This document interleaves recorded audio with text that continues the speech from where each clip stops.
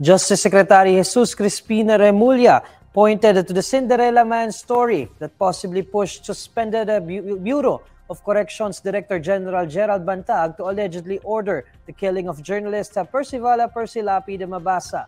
Jean Mangaluza fills us in with the details. Jean? Thank you, Neil. Justice Secretary Jesus Crispin Remulla said that Percy Lapid's Cinderella Man story may have pushed suspended Bucor Director General Gerald Bantag to allegedly order the killing of veteran broadcaster.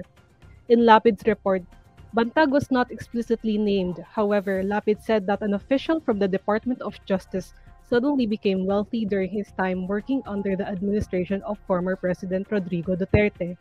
The unnamed official was called Lalaking Cinderella or Cinderella Man.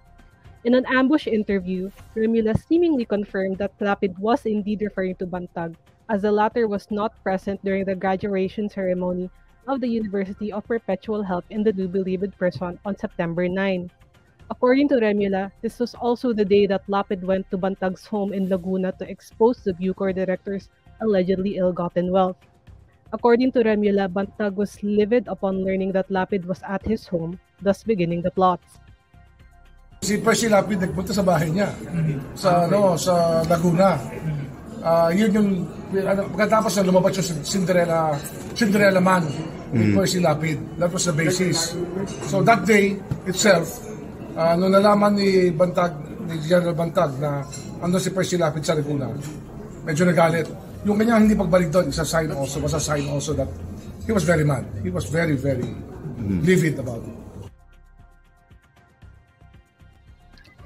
Lemina also said that Bantag and Bucor Deputy Secret Security Officer Ricardo Zulueta are still inside the country because government officials need travel authority to leave the Philippines.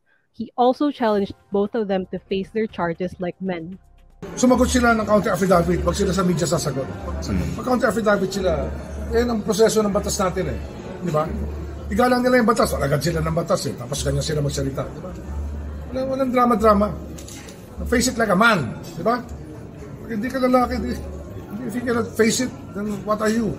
But face it. Uh, that's Gino Mangaluza reporting live.